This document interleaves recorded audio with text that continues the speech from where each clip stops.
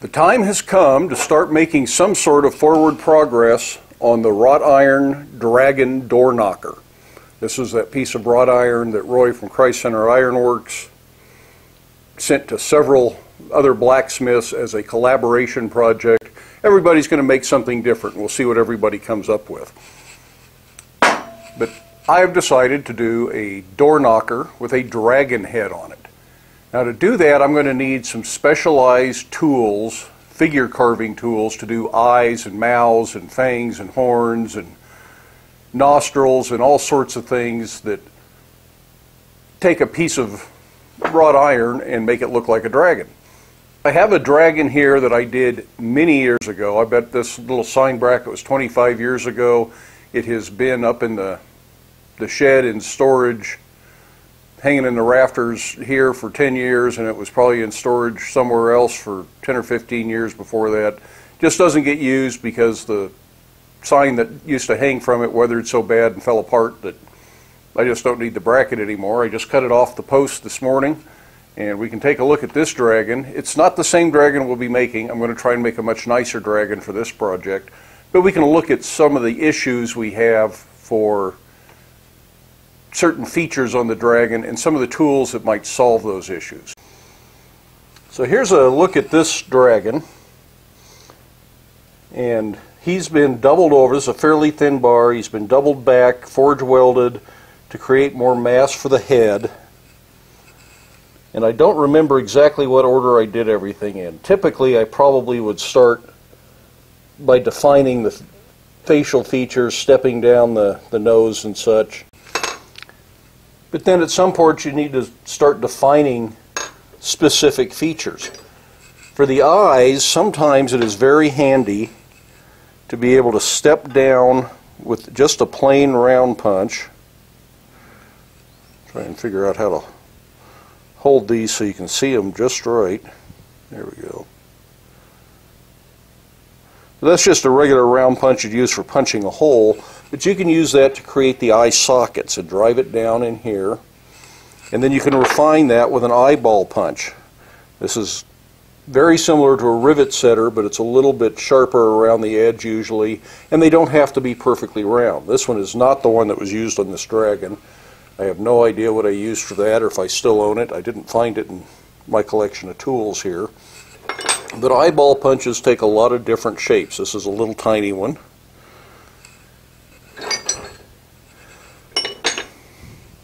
This is an oval one, and I think we made this in a video. I'll try to link to that video up in the, the top left corner. So, somewhere right up in somewhere right up in here, I'll try to link to that. I'm kind of looking upside down at the camera here, so it's kind of hard to tell. Like being dyslexic, I suppose. So anyways, that's an oval with a kind of a teardrop eyeball punch. Then I have a very small eyeball punch. But I don't have one quite this size, and I think I probably need to make one specific for the dragon we're going to do. For the nostrils, that's pretty simple. Just a regular center punch does the nostrils. And it's just a matter of driving the center punch in to the nostrils. That adds some flair. We'll talk about all this when we do it. For splitting the mouth out, a long, skinny, flat chisel helps. So that's a good way to open the mouth up. And it just depends what kind of mouth you want. The tongue is an added on piece. The mouth is opened up and then drilled. And this, I think, is uh, brazed or soldered in. But you can also do a shrink fit. This chisel is also handy for getting behind the ears or the horns, depending on what they are as is a slightly curved chisel or a gouge shape you can get in here. And these real fine tools, these two that I just showed you, are both made out of H13. I made those ages ago when I was too naive to know that I shouldn't be able to properly harden and temper H13 as a uh, novice blacksmith, and I managed to get away with it, and they perform wonderfully. So those are just some of the basic tools There's some little eyebrow effects here that may have been done with a chisel like this, or they may have been done with a specific round chisel. And there's some other details that we may want to look at in the dragon we're going to make. So those are some basic tools. I have a wide assortment of these tools.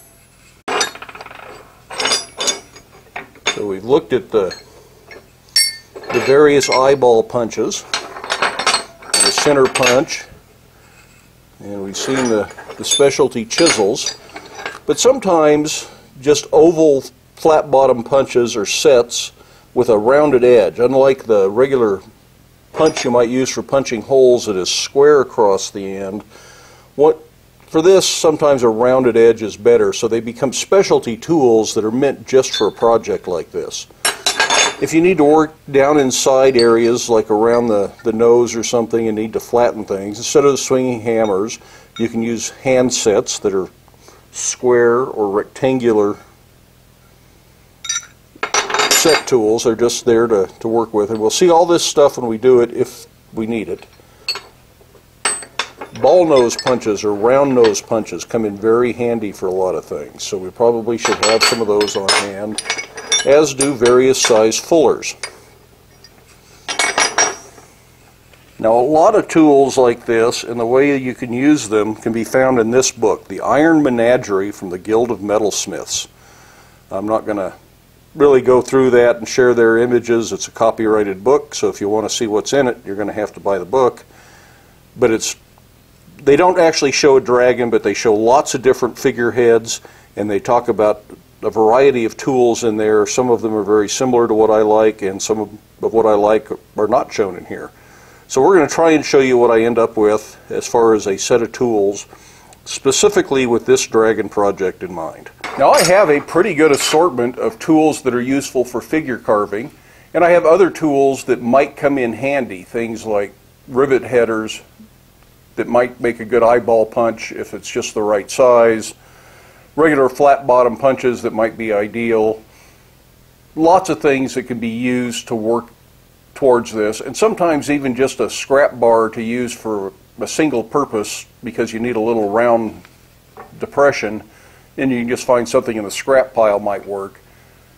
But because I do like to have good tools, and I like tools that are all relatively similar so they behave the same, and this is a real hodgepodge, I think I'm going to actually make a whole new set of figure carving tools.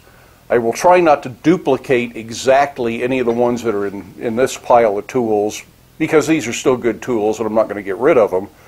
But I'm going to try and fill in the gaps, make a few other sizes of uh, eye punches, maybe a different shape, and then I'm going to experiment a little bit in scrap material to see what we might like for this dragon and what works.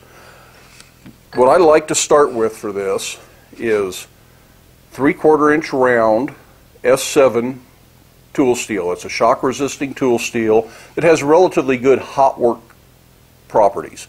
So it's very good for this kind of stuff. These real delicate chisels might be better out of H13 that is a better hot work steel and you'll notice that these are have gotten clear past the blue range in use and they still hold an edge fine because that's what H13 is meant to do. S7 is not bad for that. So I think I'll still make some new chisels similar to this out of the S7. They'll be a little heavier, a little more solid. But these real fine, delicate ones that I did years ago out of H13 will probably still get used on this project. So am I going to show making every single tool I'm going to make? Probably not. I'll try to be somewhat representative, but once you know how to make one or two of these, the principles apply to all of them. And once you know how to make an eyeball punch, you can make any size or shape eyeball punch you want. You don't need to see a quarter inch eyeball punch, a 5 16 eyeball punch, and a 3 8 eyeball punch made. They're all made the same. It's just make them the size you want them. Same thing with chisels and other tools. But as we get to specific types of tools or unusual tools, I will try to include that. I have ordered 12 feet of this. It comes, I buy it from McMaster-Carr. I'm here in the United States. McMaster-Carr tends to ship overnight, but they ship at a price that's the same for ground shipping. So I ordered two six foot bars last Friday. It will be here any minute now, and I'll be able to work on these probably before this video is through being filmed. I will have all of the material I need to make the full set. I have two pieces right now, so I'm going to start with that. And I think I'm going to start with a tool that I have never seen or made or seen anybody else use, and that would be a chisel specifically for making scales. I don't know if this dragon will have scales. A lot of the old dragon door knockers I've seen don't have that, but I want to experiment with a little bit and see if I like the pattern. The only way to do that is to just go ahead and make the tool. So I'm going to take one of these and we're going to make a scale chisel, for lack of a better term, which is very similar to a half round chisel. And we may even make some half round chisels. But we will see, and let's get to work. Now for my scales, what I envision, I suppose would be a shield shape. So kind of round on the sides and come down to not really a point, but kind of rounded. And that these could be then set in side by side. And of course by having a chisel they all look the same. And you can put more of them down down in here. Yeah, see, that's why you get a, a chisel that makes these all the same, is they look better. Anyways, you get the idea. Now, another thing that's important, you could just make a chisel shape that does this, and you could use a curved chisel and come from both sides, but that's a little less reliable, and you're probably going to get little chop marks on the ends that overlap and have trouble with it. But if it's just a chisel cut, you've just created lines, and while that is certainly better than nothing, my hope is to create a tool that if you have a scale here, it will have a straight side and the bevel up to the next scale to give the illusion that these over, actually overlap some.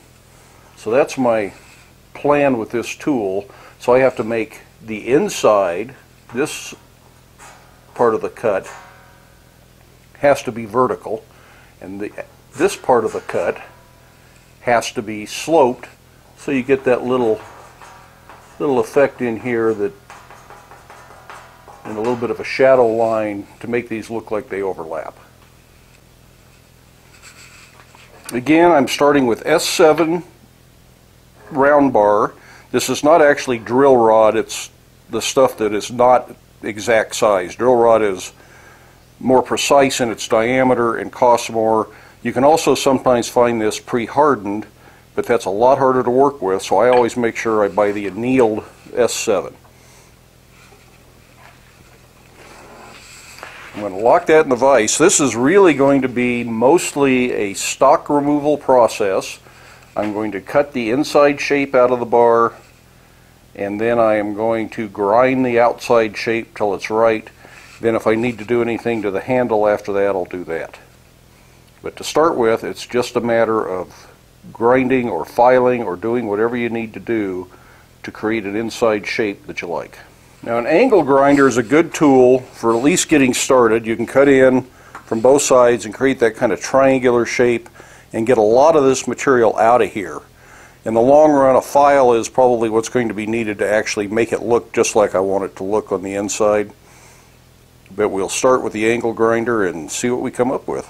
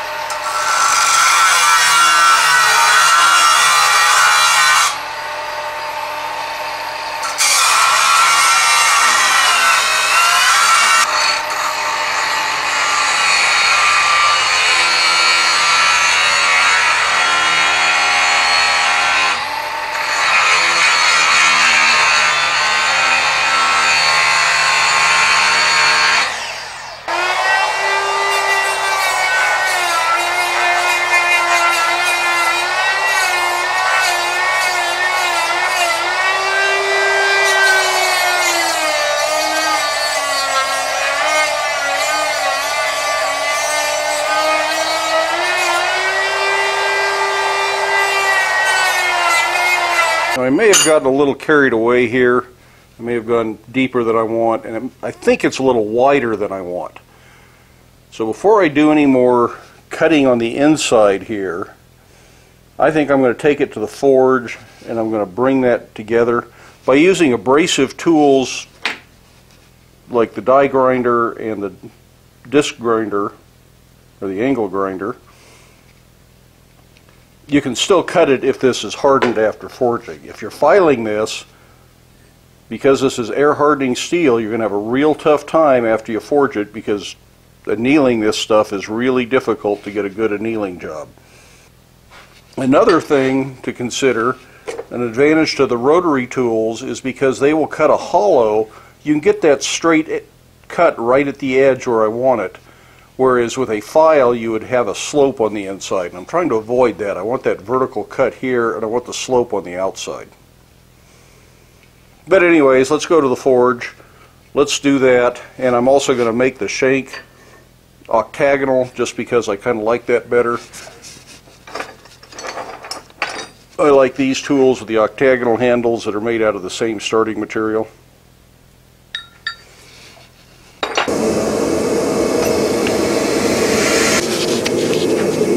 I'm going to go ahead and clean up the handles and forge that octagon under the power hammer and then we'll deal with that working end and try to reshape it a little bit.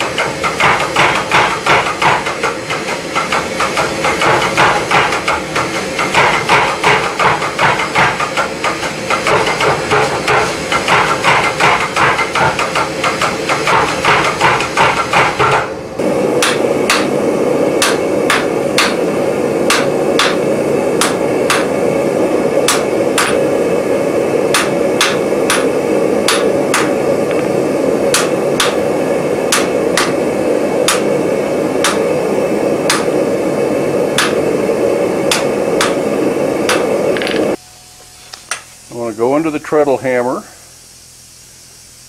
I want to put my touch mark on.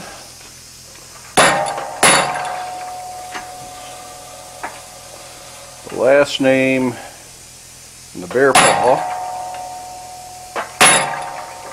And I'm going to turn it over and I have a stamp that just says S7. That's just so I remember in the future what steel I made this out of.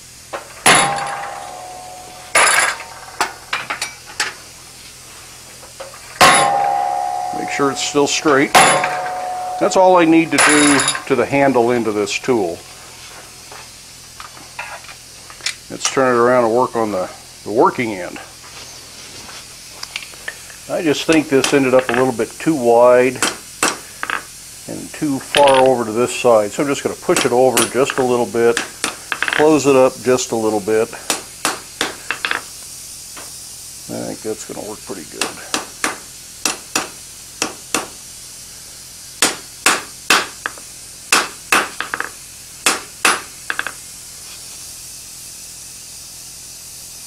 I think that might be a shape I'm going to be happy with. Now you can't actually normalize S7 tool steel. It's not possible. But I'm going to go ahead and bury it in the vermiculite because that's as close to annealing as I can come and is still going to be harder than normalizing or annealing other steels would be because it is an air hardening steel. So we're going to do that and it'll be harder than I'd like, but with the angle grinder and the die grinder, we'll still be able to clean that up. So here's our chisel after that little bit of modification at the anvil. I left this in the vermiculite for three hours and it was cool enough to touch but not cool enough to hold on to so it's just now cooling off. That's still uncomfortably warm and that's a much better shape but it's not perfect. The edges aren't quite the same length, so I'm going to clean that up a little bit. And I'm going to try and get in here and just round that up just a little so it's not as straight-sided. These are really fussy to do things like this, but this is probably the most difficult tool that I will make for doing this dragon.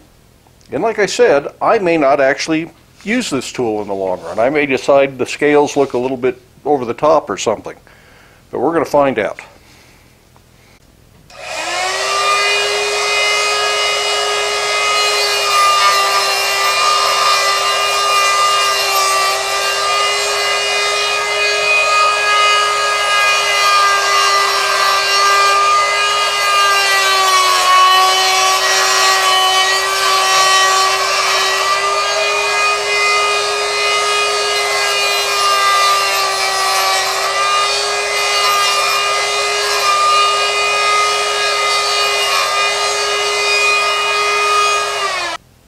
That really made a big improvement. The next thing I want to do is take it to the belt grinder and grind the bevel on this. It's fairly straight in here by virtue of using rotary tools that will cut a hollow and I can come straight out. If you use a file to cut that, you have to come in at an angle and you end up with an inside bevel, which I was trying to avoid with this particular tool. So I'm going to go ahead and grind the outer profile, get that to what I want, and I'm going to grind that at about 45 degrees or a little bit steeper maybe. I don't want it too steep because it's not a cutting chisel, it's meant to just make an impression. But I'll be right back. Here is the chisel that we've been working on. I realize that it wants to focus my hand better than it does the, the chisel. And I also made another one that is a slightly steeper pitch. So I've made two of these. I guess I'll just call them scale chisels. Because I've never seen one before and I'm not sure what else you'd call it. This is a hunk of lead. This is a good way to test these. Remember, lead's not good for you, so if you're working in lead, make sure you wash your hands when you're done. We'll just Make a little row of depressions here.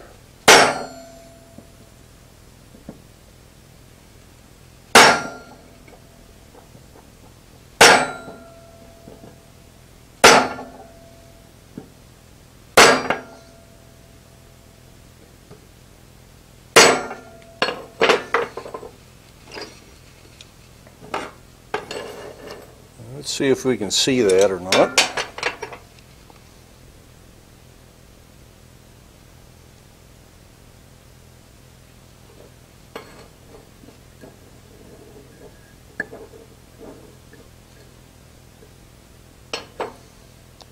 Yeah, you can sort of see it.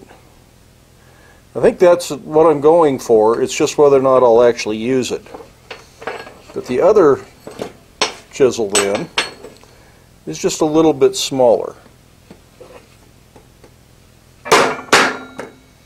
It may look slightly different in hot iron, although not a lot different.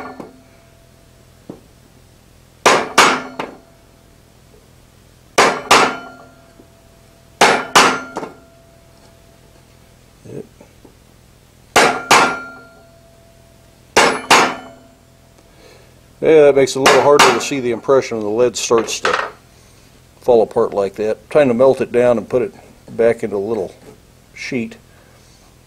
I think I actually like the smaller one a little bit better. It looks a little bit more scale-like.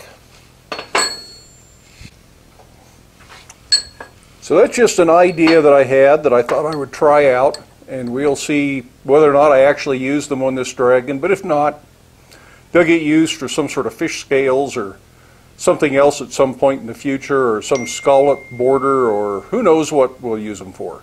But my guess is sooner or later these will be good tools. I'll be glad that I took the time to make them.